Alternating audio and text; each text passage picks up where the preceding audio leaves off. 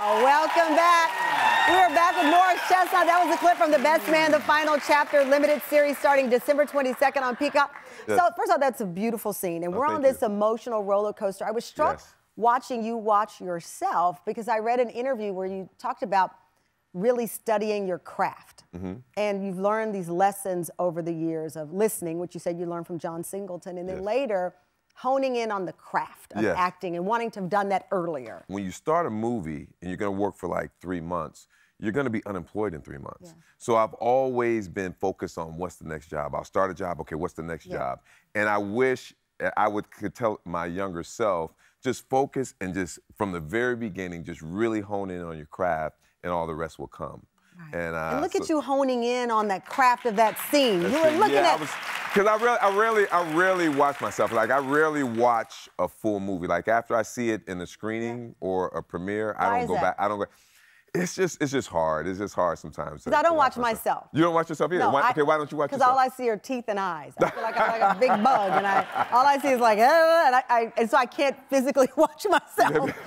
You see, don't have that problem. You don't No. look like teeth and eyes. No, I do. no, no, I do have teeth and eyes. A lot. no, I think with me is I'm always every time you know I never felt like I just. There's very few scenes that I've done to where I felt that I couldn't have done better. And I just get mad at myself. Oh, that, oh I missed that. And, See, oh, I'm that way too. that. Oh, I'm, so that I, way too. I will criticize my like, okay, I should have said this. Da, da, da. So to keep authentic, I don't watch the show because I don't want to perform for them. I just want to be present with them. I think and you're so I very don't, present. Thank you, Yeah, thank present. you. Yeah, so like going back to the film though, you uh, the cast on the red carpet was it last week for the Yes. premiere in L.A. The chemistry. Look at first of all the most beautiful cast ever. Everybody is in the house. Did you know that this was lightning in the bottle? I love that Malcolm D. Lee, uh, the director, said he wanted them to be relatable, Yes. authentic. So this wasn't just for black people, even though it was a cultural milestone. Like we all watch Sex in the City, they wanted the world to watch this group as authentic color, uh, people of color, but see themselves in their journey. Without a doubt, without a doubt. And that's what I love about the world that he created because all of our storylines, even from the very beginning, are extremely universal. Yeah. And I think that's why people are so, rela- uh, the cast is so relatable. And plus, I mean, we have some, uh, I mean, there's some, some, you were just really, really great people to work with. Absolutely. One of the greatest who you've had a chance to work with ti- twice, Nia Long. Yes, Nia Long. um, She from, of course, Boys in the Hood. Now Right. this series. I love her character, Jordan. I know that she described you as her therapist on set in an interview recently. yeah. And everybody's been talking about her personal life ending a long Oh. relationship, and, and she's talked about it on the red carpet. People I know who know you say you are such a protector, that you're such a carer, like you take care of the group Yes.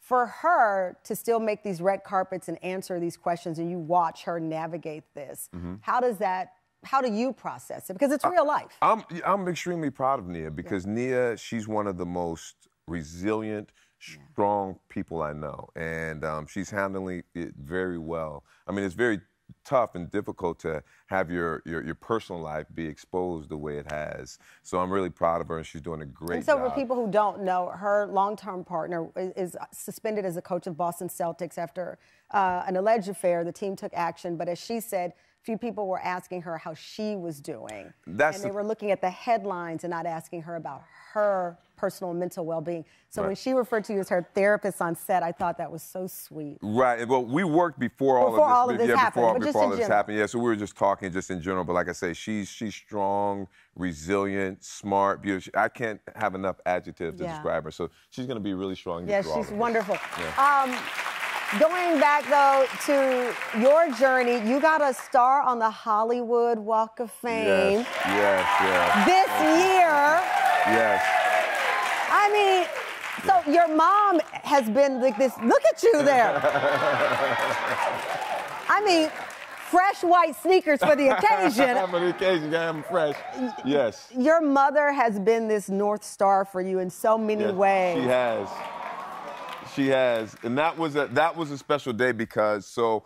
Like I said, I'm always thinking about the next job. And she, one day she said, you, "You need to have a star on the Hollywood Walk of Fame." I was like, "I'm not even thinking about that. I'm just trying to keep keep things moving." And so she called my publicist, got my wife together, and she really said, "Hey, we're gonna get this. We got to get him a star." And so this day, so yeah, thank you, yeah, thank you. So so for I wanted to sh- just as a tribute to her, I, I made it that they gave me the star on her birthday. so this was her. This was her birthday. Yeah. Okay. Yeah. I, you want me to cry some more here? I've got my tissue. Before we go, I do want to call out the fact that you also mentor, and that's been a yes. part of your legacy. You have other goals, producing and directing, Without but doubt. it's been important um, with this iconic career that you've been able to build is to pass it down to others. It is because it's the industry is really tough. Yeah. I mean, people really don't understand it. And like you said, I had that gap of it, between major films, between Boys in Hood and this, but since a lot of movies are rerun on TV. People think you're working all of the time. Mm-hmm. And I, me being born and raised in Los Angeles, I understand and I see all the pitfalls that people make when they come from smaller towns or when they come because Hollywood will will it will eat you up and spit you out in a heartbeat. And so yes, yeah, so when I'm always around to help mentor young young young talent, yeah, for sure. Oh my God, handsome and heart, you got it all. Thank you. Congratulations, Thank your you. mom is amazing. That beautiful family. Happy Thank holidays. You. Thank you. Thank you Thank you. so Happy much. holidays and congratulations to everything you do. Thank you, Morris. Thank, you. you. Morris Chestnut. Please be sure to watch The Best Man, the series streaming on Peacock starting December 22nd.